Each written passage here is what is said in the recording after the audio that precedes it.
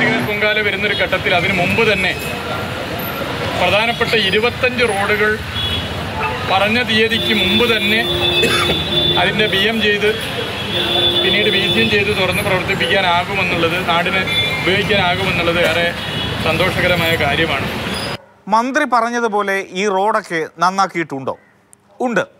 ആറ്റുകാൽ ക്ഷേത്രത്തിന് ചുറ്റുമുള്ള റോഡുകൾ പലതും നന്നാക്കിയിട്ടുണ്ട്. ഈ കാണുന്ന പോലെ അറ്റകുറ്റപ്പണികളൊക്കെ ചെയ്തിട്ടുണ്ട്.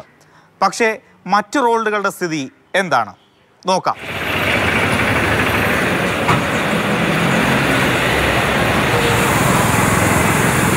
കിള്ളിപ്പാലത്ത് നിന്ന് അട്ടക്കുളങ്ങരയിലേക്ക് പോകുന്ന വഴിയാണിത്. സാധാരണ പൊങ്കാല ദിവസം ഒരുപാട് ഭക്തരെത്തി പൊങ്കാല ഇട്ടിരുന്ന പ്രധാനപ്പെട്ട ഇടം. ഈ റോഡ് നന്നാക്കിയിട്ടില്ല. ഉടനൊന്നും നന്നാക്കാനും ഇടയില്ല.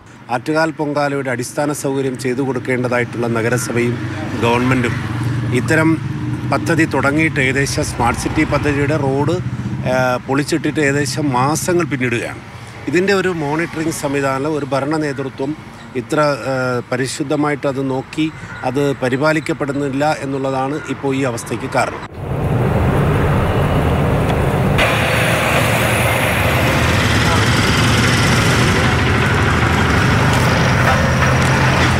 വെള്ളയമ്പലത്ത് നിന്ന് തമ്പാനൂരിലേക്ക് പോകുന്ന വഴിയിൽ പണികൾ തകൃതിയായി നടക്കുന്നുണ്ട്.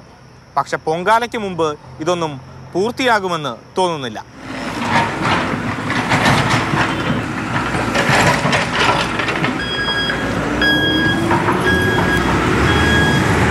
ജനറൽ ഹോസ്പിറ്റലിൽ നിന്നും മഞ്ചൂരേക്ക് പോകുന്ന വഴിയാണിത്.